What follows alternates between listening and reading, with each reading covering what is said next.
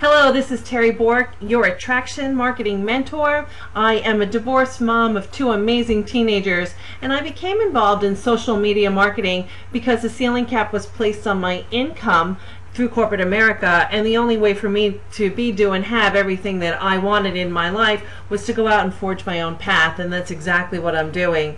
Currently, we're working on creating your executive signature file for your email, your blog, and um, your Aweber account.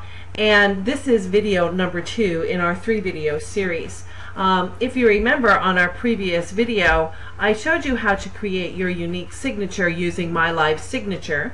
And this time what I'm going to show you how to do is actually to get your photograph up, your contact information, and finally your social profiles listed so that you'll be able to put these things out on your Gmail account or your, your um, email account and your blog.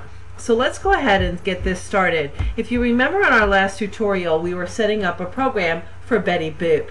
Okay, so we have Betty's um, signature all created. And now what we're going to want to do is we're going to want to add a photograph. So how do we do that? Well, I actually um, don't have photos that are, you know, that little tiny size, so I need to resize a photograph. And you may have that instance too because you don't want to put a big, huge photograph on your computer for your signature. You just want a little, a little tiny one. I like to use a resizing program called Irfanview and this is a free download. You know that I'm all about value and bringing you awesome tools um, that cost you nothing.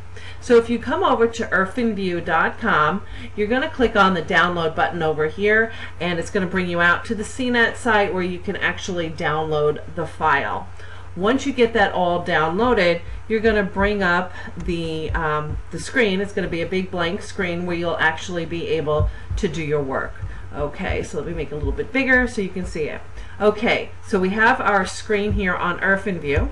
I'm actually going to go out to my files where I keep all my photographs and I'm going to find the one that I would like to resize. I'm going to resize, uh, let's see, number four. Okay, so I have this video, right, this one right here that I want to resize.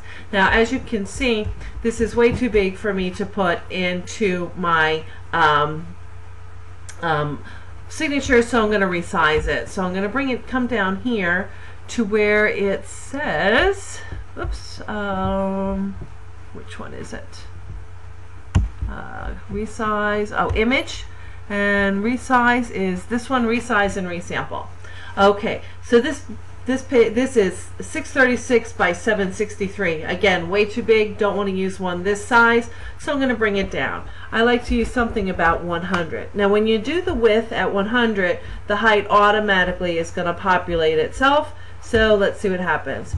And here you have it. We've got a nice size picture. And what I'm going to want to do is go out to that same location and I'm going to save this file, um, save this um, so I know where to find it. So let's call it um, um, headshot 2. Okay, so I save this to my headshots folder. Okay, so now we're all finished with this. The next thing we need to do is we need to give it HTML code. Well, how do we do that? We actually have to go out to uh, a site that will store your photographs for you and um, you'll be able to grab the HTML code. So the way you do that is you're going to go to a place called PhotoBucket, and that's photobucket.com. Once you go into photobucket.com, you're going to log in, get your free account, and then after you establish your free account, you're going to come over here and select upload images and videos. You'll then go back out to your site where you put your file, your your um, your photo that you resized. Here's mine, headshot number two and I'm going to um, bring it over here. It's going to automatically upload. Once it uploads, I'm going to, let's see, I'm going to call this the same thing. Here it is right here. I'm going to call it Headshot 2. S-H-O-T, Headshot 2. And I'm going to save and share now.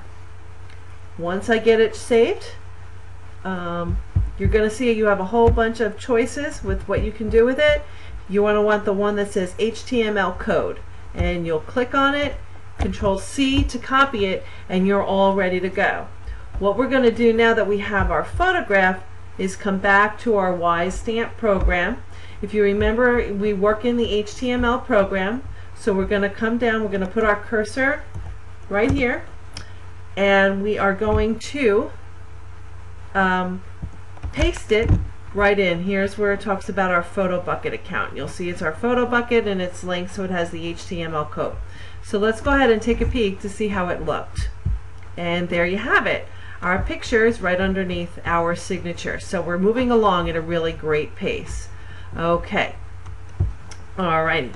The next thing I like to do is head over to the visual now. And what we're going to do is up at the top, you know, however you like to typically sign your things, I like to do um, to your success or whatever. Um, let's make this a capital here. You can actually now start playing with the various features. You can bold it. You can make your um, the, the text that you like. You can change the color if you want to. Whatever you like to um, suit your personality. Then underneath your picture, you can go and you can start entering your contact information. So um, this is for Betty Boop and um, your phone number and then your website. All right, so there you have it. So now you have all that information for Betty Boop all entered in here. And again, you can play with this and, and make it truly unique and truly your own so that it um, matches your personality and how you want people to go about reaching out to you. All right, so there it is right there.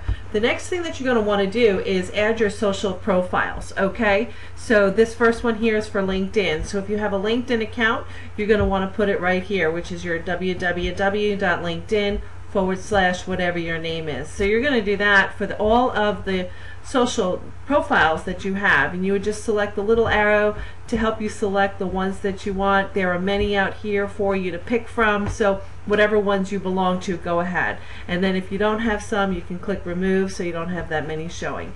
Alright so let's go ahead and see what this looks like now. Well there you have it. We have to your success, Betty Boop, your picture, your information and there's your contact information. So now you have everything on your program, on your file, on your signature file that you need to have somebody go out and be able to reach you. Now play with it. You can lay it out however you want to lay out your, your information. Uh, make it fun. Make it your own. Um, and I do hope that you enjoyed this video and saw how easy it is to truly set up your signature and make it personalized to you.